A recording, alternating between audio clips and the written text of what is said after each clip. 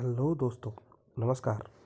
स्वागत है एक बार फिर से आपका, आपके अपने यूट्यूब चैनल में। दोस्तों, मैं आप लोगों को बता दूँ, एक भाई ने प्रश्न किया था कि आप अपने फ़ोन से आपके जो थंबनेल वाले वीडियो है, वो कैसे बनाते हो?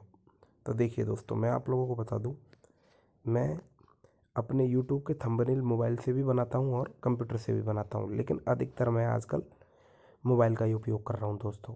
तो मोबाइल पर आप लोगों को इस प्रकार के थंबनेल बनाने के लिए किसी भी प्रकार के पैसे देकर सॉफ्टवेयर ख़रीदने की ज़रूरत नहीं है दोस्तों। बिल्कुल एक फ्री एप्लीकेशन है जो आपको प्ले स्टोर पर मिल जाएगी। किसी प्रकार की कोई भी फेक एप्लीकेशन नहीं है दोस्तों।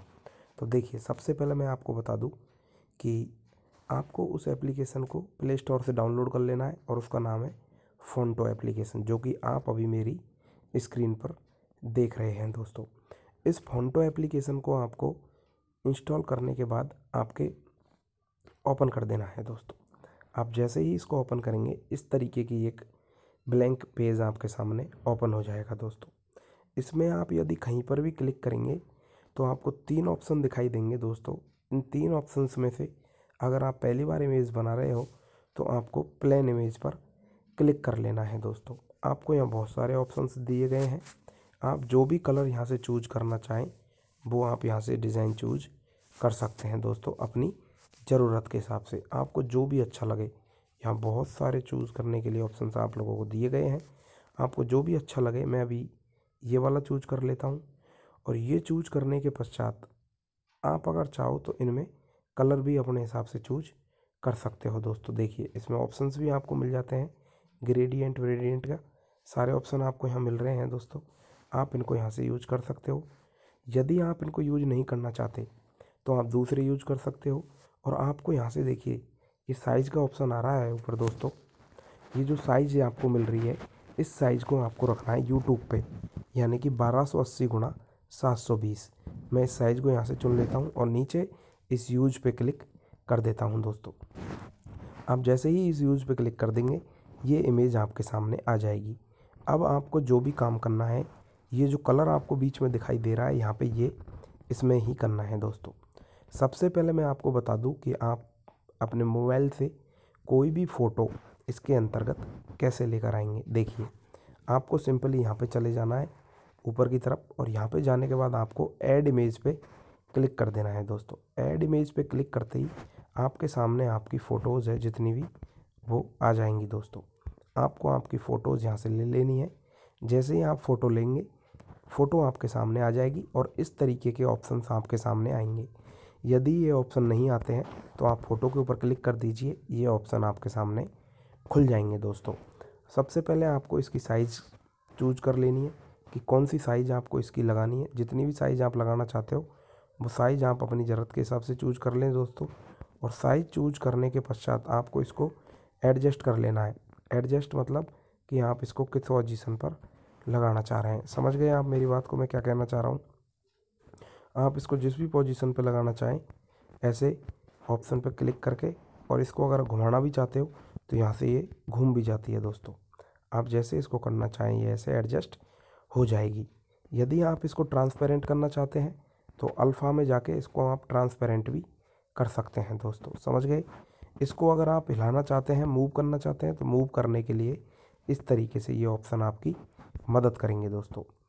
अब बारी आ जाती है इसमें किसी भी चीज़ को लिखना कैसे है दोस्तों? देखिए, मैं आपको दिखा रहा हूँ कि अभी अभी जो मैंने लिखा हुआ था कि मैं कैसे लिखता हूँ तो आपको वो चीज़ यहाँ पे टाइप कर लेनी है दोस्तों। जैसे कि, मान लो मैं यहाँ सिंपली क्या कर रहा हूँ दोस्तों, यूट्यूब टाइप कर लेता हूँ।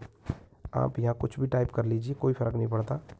आपको जो भी अच्छा लगे, हिंदी करना है तो हिंदी और इंग्लिश करना है तो इंग्लिश। हिंदी के लिए आप जानते हैं, मैं ऑलरेडी एक वीडियो बना चुका हूँ आप कोई सा भी कीबोर्ड यूज़ में ले सकते हैं। यहाँ से आप इसकी अलाइनमेंट सेट कर सकते हैं। सेंटर रखनी है लेफ़्ट रखनी है राइट रखनी है। मैं अमूमन सेंटर ही रखता हूँ दोस्तों। आपको अगर यहाँ से कोई फ़ॉन्ट चेंज करने हैं तो आप यहाँ से इसकी फ़ॉन्ट भी चेंज कर सकते हैं दोस्तों। यहाँ आपको बहुत सारी फ़ॉन्ट देखने को मिल जाएँगी। अलग अलग प्रकार की फ़ॉन्ट है और बहुत सारी, हज़ारों फ़ॉन्ट है। बिल्कुल फ्री फ़ॉन्ट है दोस्तों। आप इनको बड़ी आसानी के साथ यहाँ से उपयोग कर सकते हैं। समझ गए दोस्तों? आप इसके बाद इसको डन कर देंगे। आप इसको जैसे ही डन करेंगे, ये आपके सामने यहाँ पे आ जाएगा। आप इसको यहाँ से अपनी पोजीशन के हिसाब से सेट कर लीजिए। इसके बाद आपको इसको इस पर क्लिक कर देना है और क्लिक करने के बाद आपको यहाँ पे स्टाइल में चले जाना है दोस्तों। स्टाइल में जाने के बाद सबसे पहले नीचे ऑप्शन देखिए। नीचे आपको ऑप्शन मिलते हैं दोस्तों। देखिए, नीचे अगर आप ऑप्शंस में जाएँगे तो आपको अलग अलग ऑप्शंस मिलेंगे। कलर है स्ट्रोक है, शेडो है, बैकग्राउंड है, स्पेसिंग है, कर्विंग है, ब्लेंड है दोस्तों। अब देखिए, मैं आप लोगों को बता दूँ कि अगर आप इसका कलर चूज़ करना चाहते हैं तो आपको यहाँ ऊपर कलर पट्टी दी हुई है। आप अलग अलग कलर यहाँ से चूज़ कर सकते हैं दोस्तों। ये देखिए, कर लिया। इसके बाद अगर आपको कोई स्टॉर्क लगाना है, स्टॉर्क लगा दिया। शेडो लगानी है, आपको कुछ भी शेडो लगा दी। बैकग्राउंड का कलर कौन सा रखना है दोस्तों? वो बैकग्राउंड लगा दिया। अब देखिए, आप इसके बैकग्राउंड को यहाँ से गोल भी कर सकते हैं। जैसे कि अगर आप इसको पकड़ के खींचेंगे नीचे वाली लाइन को तो इसके कॉर्नर जो है, वो बिल्कुल राउंड हो जाएँगे दोस्तों। आप देख रहे हैं राउंड हो गए। आप इसके ऊपर की हाइट को और चौड़ाई को भी यहाँ से बढ़ा घटा सकते हैं दोस्तों। अगर बैकग्राउंड को ट्रांसपेरेंट करना चाहते हैं तो आप इसको यहाँ से ट्रांसपेरेंट ऐसे कर सकते हैं दोस्तों। शेडो के अंदर भी आपको यही ऑप्शन देखने को मिलते हैं। शेडो को भी आप यहाँ से बढ़ा और घटा सकते हैं। बैकग्राउंड के बाद बारी आ जाती है स्पेसिंग की। आप सैंपल ही आपको दिखा रहा है तो आप लेटर और लाइन की स्पेसिंग यहाँ से बढ़ा घटा सकते हैं।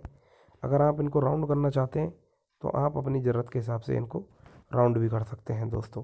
अगर इसको ब्लेंड करना चाहते हैं तो ब्लेंड भी कर सकते हैं दोस्तों। अब देखिए, आगे आगे मैं आपको और चीज़ बता देता हूँ।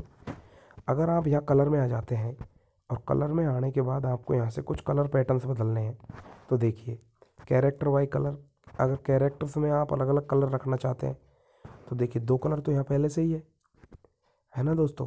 तो आपको क्या करना है? इनमें और कलर भी आप चाहें तो चूज़ कर सकते हैं इस तरीके से। ये देखिए, जैसे कि मैं कर रहा हूँ कलर पे क्लिक करते जाइए और जो भी कलर आपको अच्छे लगे, वो कलर आप फिल करते जाइए। ये इस तरीके से हो जाएगा और आप इसको यहाँ से अप्लाई कर सकते हैं दोस्तों कुछ इस तरीके से। और जब आपकी एडिटिंग डन हो जाए, आप इसको यहाँ से डन कर दीजिए। अब आप देख रहे हैं कितनी आसानी के साथ हमने इसको यहाँ पर ले आया और ये कितना अच्छा लग रहा है दोस्तों। आप इसकी साइज़ को थोड़ा छोटा कर सकते हैं अगर चाहें तो।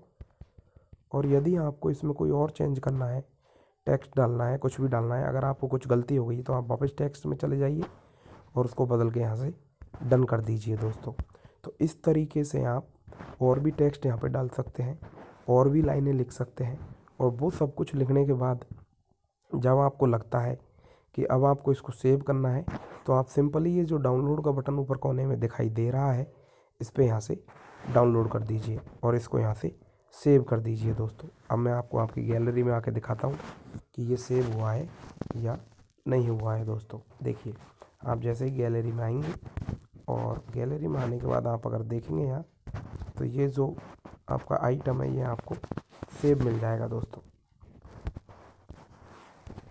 ये देखिए, ये आपकी गैलरी में आ चुका है। आप अगर यहाँ देखने की कोशिश करें तो और ये सेब हो चुका है। तो इस तरीके से आप बढ़िया बढ़िया डिज़ाइंस सेट करके इसका उपयोग कर सकते हैं दोस्तों। आशा करूँगा मेरे द्वारा इस वीडियो में आप लोगों तक काफ़ी हेल्पफुल जानकारी पहुँचाई गई है दोस्तों। तो चलिए दोस्तों, मिलते हैं अगले वीडियो में। तब तक के लिए गुड बाय दोस्तों।